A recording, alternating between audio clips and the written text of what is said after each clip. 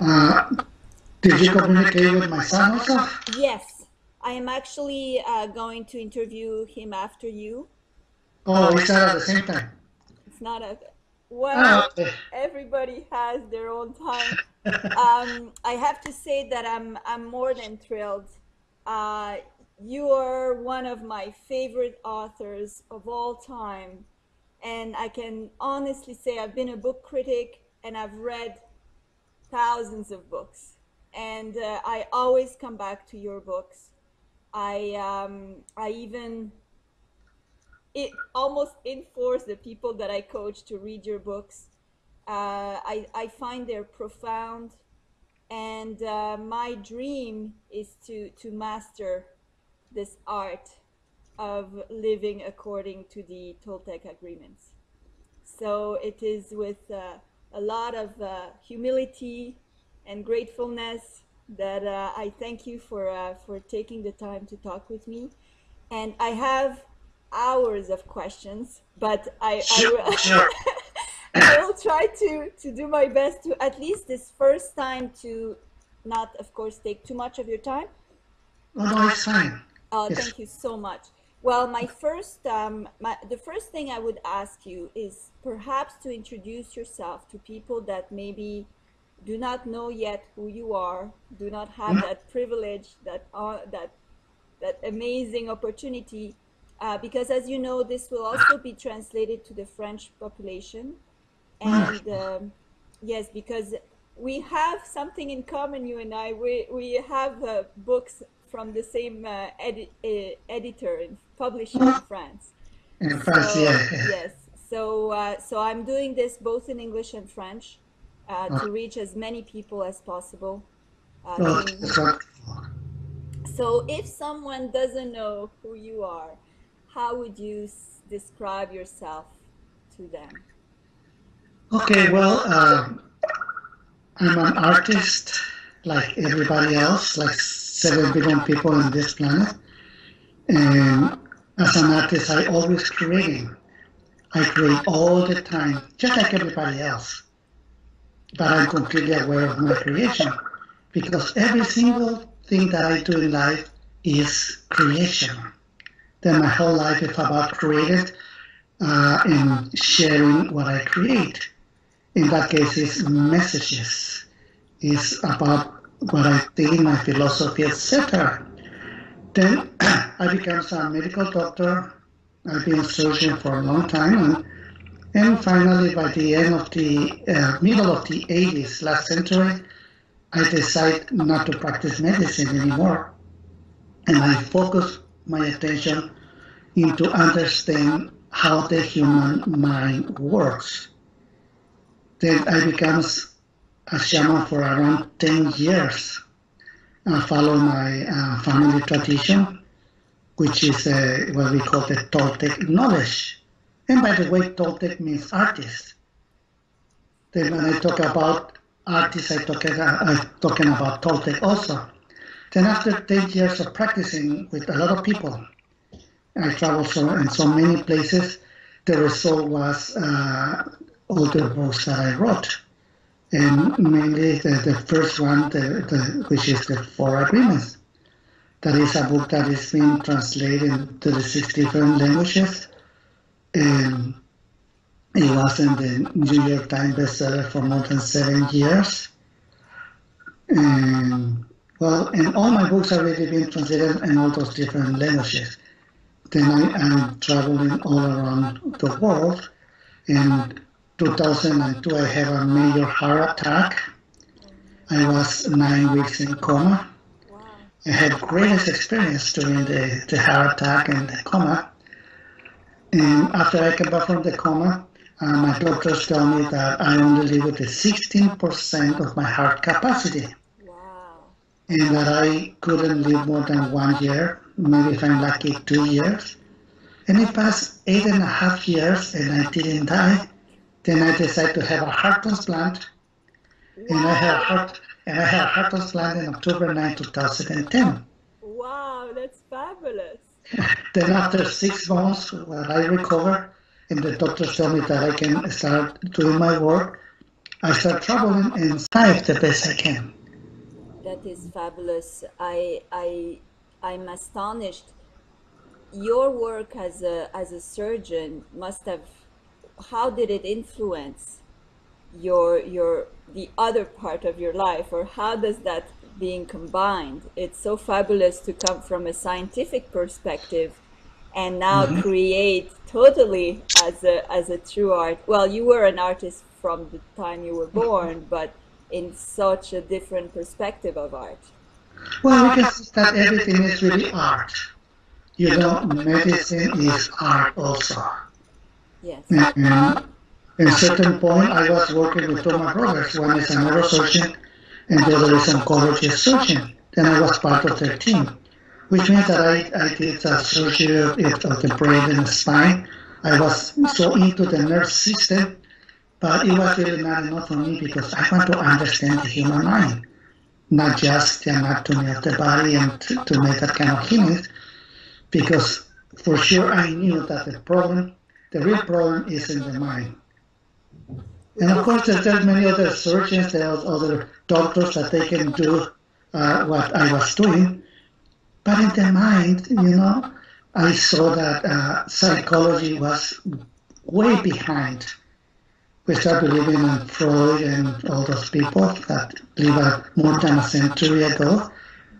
And it was time to, to change the image and to change the study of uh, psychology.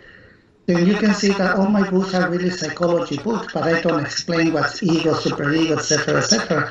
No, it's just tools that we can use in order to change ourselves that we become our own therapists. We become our own uh, psychologists, our own psychiatrists, and we can heal ourselves. I just give the tools and everybody can use it in their own way because I really don't know what they have in their mind, only they know. But the tools are the same for every for everyone because it's nothing but common sense. Yes, I do agree and but I think you bring it like my belief is that you bring it to to a different level or a different perspective that might enlighten us in a different way. Sometimes just the fact that it and it empowers people, I believe, in a different way to see that if we if this is all uh, a belief or a dream or a perspective, just a, a way of see, like I I'm totally with you because I, have been now uh, studying more and more the process of the of the mind of the brain how the brain how we can change actually mm-hmm. our, our perspective and how that influences our future just because of the way the brain functions so I totally agree with you my my dream or goal is to to link the two together so that people can understand those that are that believe they don't believe can can have more a scientific kind of belief.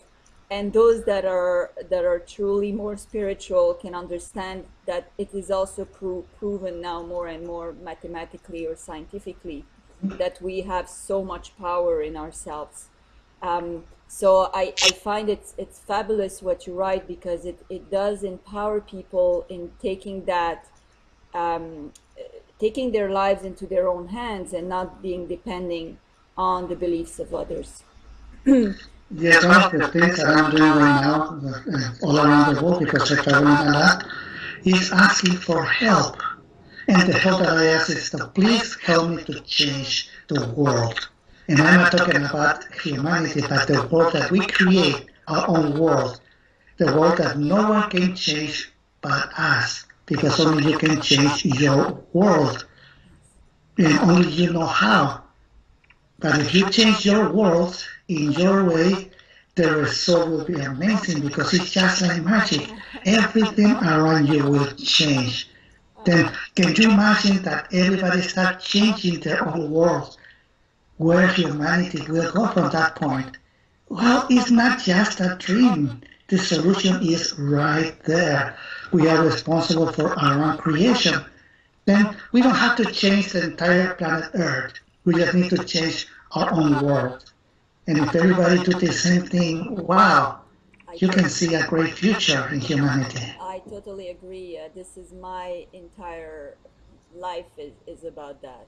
So I totally agree with you. Uh, 100 uh, thank god there's many of us that that feel the same way and that are working towards that and I, I believe more and more people there i find a lot of people come to me with uh, actually it's one of my questions comes to me with with a negative approach of life and say well mm-hmm. you know the world is going worse and worse and i absolutely don't see it like that i see more and more of us are coming out enlightened trying to awake others trying to enlighten others and bringing that that spirit of peace the, the spirit of true um, inner inner greatness that you that we have all the power to bring out.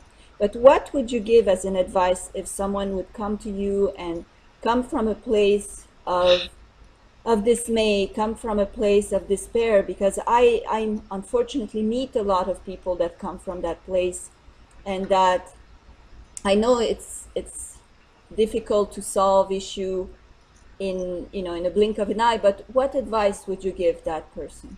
Well it's extremely simple. The way they see the world is the way they create their personal world. mm-hmm. and that's what they project all those fear. but this is their creation they're great artists even if they see something horrible terrible it still is art but they do it without the awareness. They are not aware that this is their creation. Then the way, the only way is just to reflect to them and say, look, this is your creation. This is how you see the world, but there's different ways to see the world. You know, this is just a point of view, and perhaps it's the point of view of a victim. Then you can create your own world either as a victim or as a hero. If you create your world as a victim, you, that, that world will be overwhelmed, and you will uh, you will feel powerless into your own creation. But in the other hand, if you see your own world as the hero, you will see that all the events that are happening that really challenge is a challenge for you to overcome. And yes, you are strong enough to overcome whatever life brings to you because there's events that are happening all the time in any place. What is important is our reaction about whatever is happening.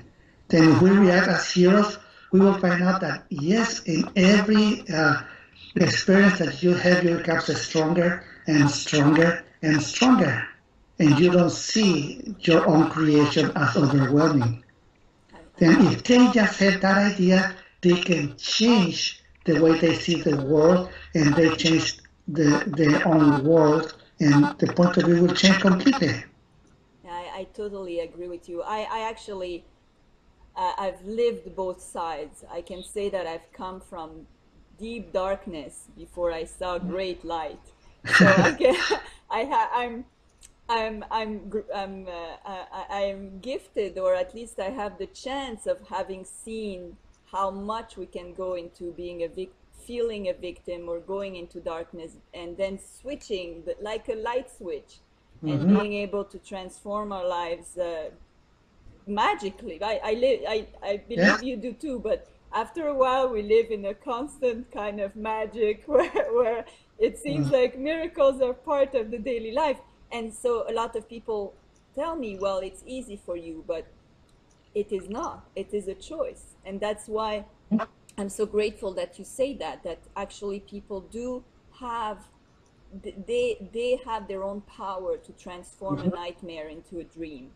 And, and it's all within, just as you say, just a, a matter of perspective, of changing. And the brain will accommodate to what we decide to give our attention to, correct?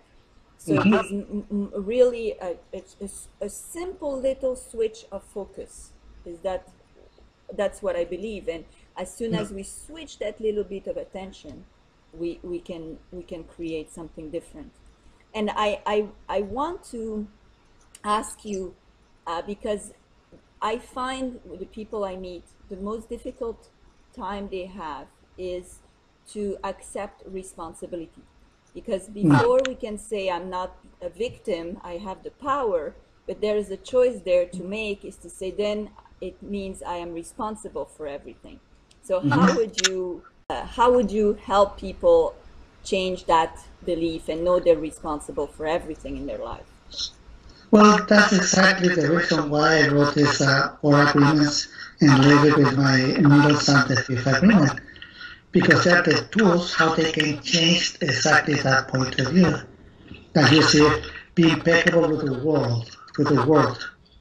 that means that if you use the, the, the word correctly, you create your personal heaven.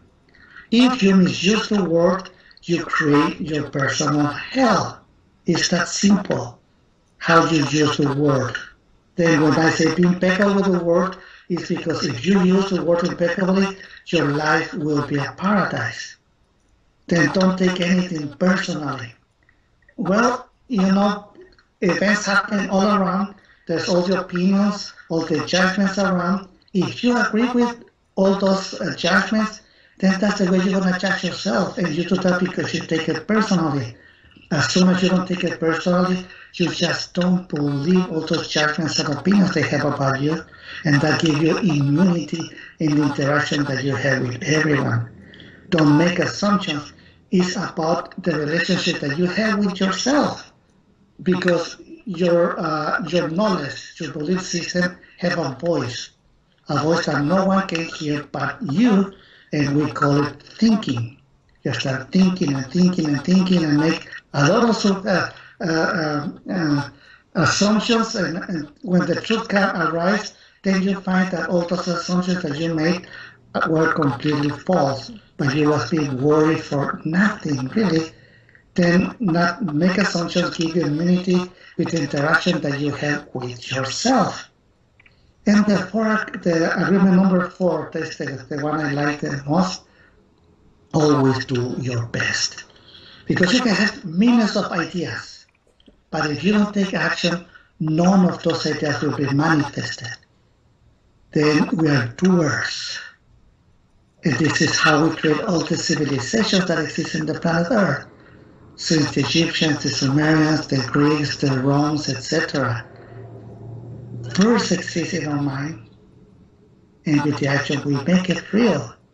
And now we have airplanes, we have computers, we have all that exists first in the mind. And we are the ones who make it real.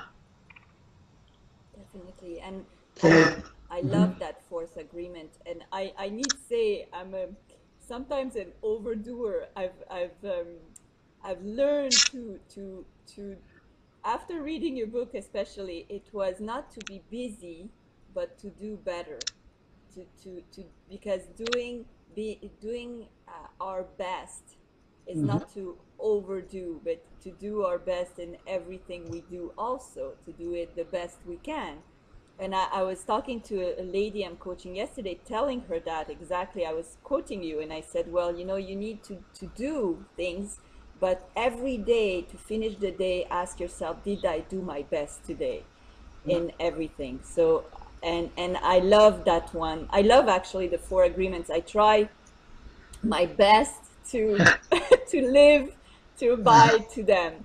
I I want I'm a I'm a peaceful warrior wannabe. I, I so I tend to you know try to manifest miracles in my life and in that sense uh, do people often uh, become it's also in the uh, in the thought of staying victim is waiting for things to happen but mm-hmm. taking control is also the doing and the doing our best meaning to mm-hmm. always be in the capacity of maybe the tough part i would say is when does one know uh, that he has done his best mm-hmm. or her best how would you say that someone can know okay i've done enough or should I do a little more today or to him or her? You know, it's, it's whatever his or her passion is. If we, if he or she want to do more and feel that they have to, then they will. Mm-hmm. Only they know exactly at, at what moment they should stop or not. So there is because the artist is different. Yeah, it's more of an intuition or a feeling mm-hmm. of knowing personally. I, I say to people that when you don't do your best, it has a, a horrific effect of pers- per- belief of guilt, Mm. and the belief of guilt kills the self-esteem, the belief that we deserve what we're gonna get. So if we don't do our best, we feel we don't deserve what we're have we're hoping to have, and chances are we won't receive what we're hoping to have because we don't feel we deserve. So I I, I love your book. Uh, one of them I read I read the others as well. Um, the one about love I really love. Uh, it has changed my entire conception of relationship Mhm. totally. Uh, when I when I have a, a possible argument with someone, I, I go back to your sayings and I see I almost see now people that I have difficulty dealing with as children almost Mhm. and talked with from my children uh, to their children heart Mhm. to to get rid of all that that hurt that as you say the skin that is awful with with you know with uh, so much pain and try not to hurt the person not to touch the pain part and and try to avoid being touched on my on my you know hurts so that we have a, a heart to heart conversation so i love all your books i would like the people to know uh, what is next, what's coming up in, in the future with you, uh, what they can expect, where they can find you, and everything, so that more people get in touch with, with your teachings. Well, um, I go back to Europe very soon. I go back to Glasgow, to, London, to Tuscany, and later this, this year also I will go back to France, to I think to Switzerland, to Czech Republic, in uh, Belgium.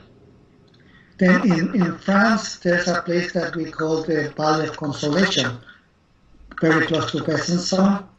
And of course, it's a monastery, and it's a, there's a beautiful river with cascades. And I will do a retreat once a year there, like a five, six six days retreat that they can they can uh, come with me and really learn directly from me. That's fabulous. Well, they will find uh, where this video is airing. They will find, I will copy and paste all the information so that people can easily click, find the links, find you and what you're doing, keep in touch with you, whatever, wherever you are in the world, and be able to meet with you. I hope I meet with you in person. It would be one of my dreams come true. Then just take the action. Yes, take the action. And I, I uh, the amazing. I, I have to say this this year of mine has been my my best year so far. So I know that you know there is no limits to to what what to expect from from me. And it's it's more now a, um, a belief of getting it into the time frame more than taking action. So we will meet in the very near future. Eh, I will be more than grateful to spend more time with you. Hopefully, interview you again on other subject, other topics. Hopefully, I will receive questions from viewers, listeners, my followers, so that next time I can ask you other insights and profoundly um, inspiring thoughts from you. Yes, just let me know if we find the right time and let's it again. Yes, thank you so much. I, you Yes. will have no idea how much it touches my heart. Mm, to have all my love and give all my love to whoever is look is hear us or listen to us. I will. Thank you so much, and may you be blessed.